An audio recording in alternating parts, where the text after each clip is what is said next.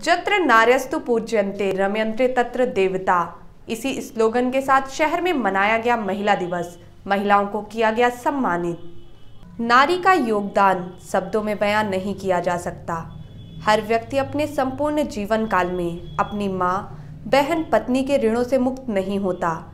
तो आज के समय में नारी ने घर आँगन के साथ संपूर्ण विश्व में अपनी अलग पहचान बना ली है। लेकिन आज भी समाज में एक ऐसा हिस्सा है जहाँ नारियाँ खुद के अधिकारों से अनजान हैं, जिन्हें जागरूक कर जीवन के प्रत्येक क्षेत्र में मजबूती प्रदान करने, प्रत्येक वर्ष 8 मार्च को महिला दिवस मनाया जाता है। इसी तारतम्य में शहर के आयुर्वेद महाविद्यालय, मानस भवन आदि जगहों पर कार्यक्रम का आयोजन किया गया। इस अवसर पर जिला स्तरीय परिसंवाद और सह सम्मान कार्यक्रम भी मनाया गया।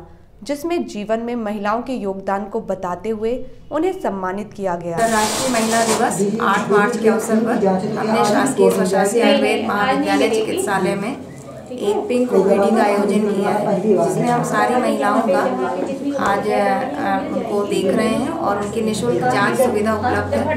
ये पिंक ओपीडी सिर्फ़ महिलाओं के लिए है आज और महिलाओं को सम्मानित करने के लिए हमने आज इस रूप में इस दिवस को मनाया है। कुल अभी तक कितने मरीज़ आ चुके हैं?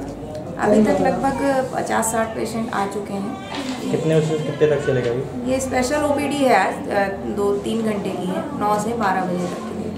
मैं डॉक्टर नितिन मिश्रा अधीक्षक हूँ आयुर्वेद चिकित्सालय है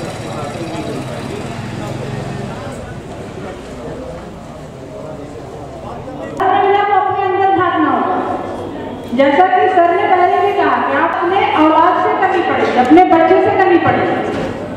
एक बच्चा पैदा होता है वो बड़ा होकर समाज में एक नागरिक बन के आता है महिलाओं के लिए सम्मान भरी सोच से आगे बढ़े तभी जो कानून आपके और हमारे लिए बने अपनी क्या महिला हो उसके लिए हो चाहे वो अपने परिवार में संपत्ति कानूनों की भरमार है।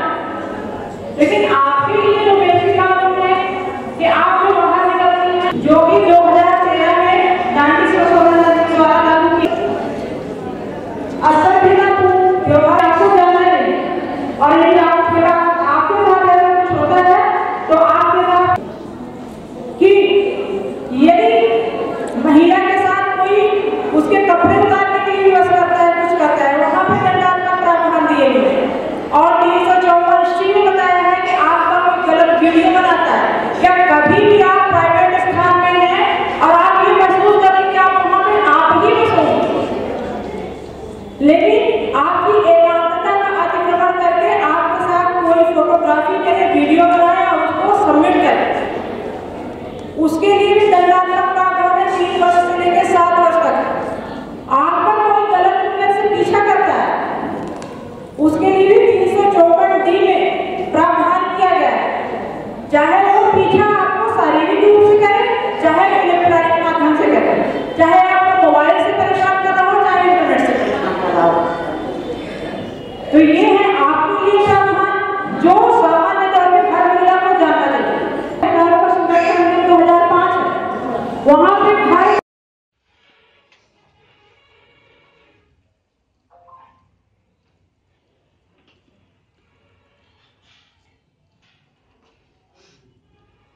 तो एक मिनट से ऊपर हो गया